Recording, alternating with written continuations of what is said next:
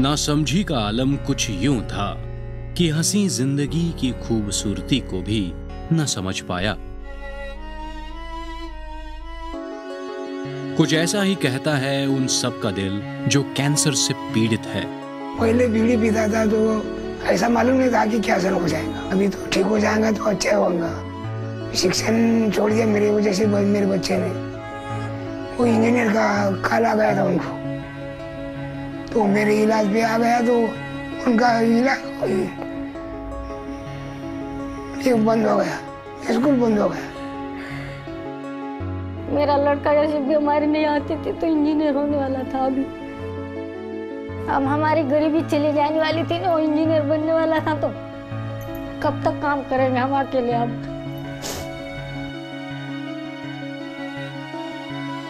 तंबाकू का दायरा सिर्फ़ बड़ों तक ही सीमित नहीं है बल्कि अब कम उम्र के बच्चों को भी ये अपने अंदर समेट रहा है।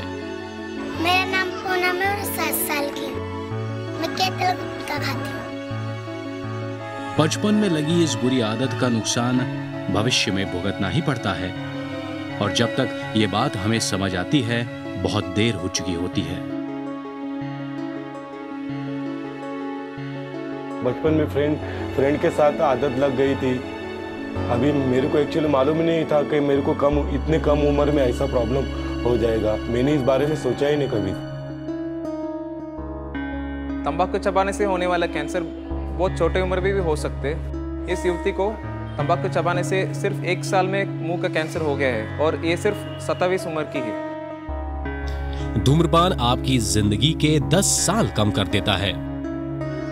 तंबाकू किसी भी रूप में लिया जाए, उससे कैंसर होता है। सिगरेट, बीड़ी, पान, जर्दा, खैनी, मावा या चबाने वाला पान जो कि लोग इस्तेमाल करते हैं, इन सबसे जो कैंसर होता है, कितना भयानक होता है और उससे कितनी बर्बादी होती है, उसका आप अंदाज़ा भी नहीं लगा सकते हैं। भारत में लगभग 27 करोड़ 50 लाख लोग तंबाकू का सेवन करते हैं। 15 वर्ष से ज़्यादा उम्र में 35 प्रतिशत युवा किसी न किसी रूप में तंबाकू का सेवन करते हैं। धूम्रपान से निकलने वाला धुआँ, धूम्रपान ना करने वालों पर भी शारीरिक, मानसिक और आर्थिक रूप से असर करता है। तंबाकू की वजह से बच्चे हो या जवान, कई तरह की बीमारियों का शिकार हो सकते हैं, जिनमें अकस्मात मृत्यु, निमोनिया, अस्थमा हृदय तथा फेफड़ों की बीमारी शामिल है। 25 मई 2011 को पता चला हमें कि इनको कैंसर है बायोप्सी रिपोर्ट के अनुसार। ये सब जिसको भी अब मैं खाते हुए किसी को भी देखता हूँ तो बहुत दुख लगता है मैं उसे मना भी करता हूँ तो वो मज़ाक में खेल कर कहता है कि अरे ये सब कुछ नहीं होता है इस तरह से टाल दिया जाता है। प्रतिवर्ष तंबाकू की वजह से 10 लाख से भी ज़्यादा लोगों की मौत होती है। वो क्या करती थी? तंबाकू की मशीरी लगाती थी मंजन।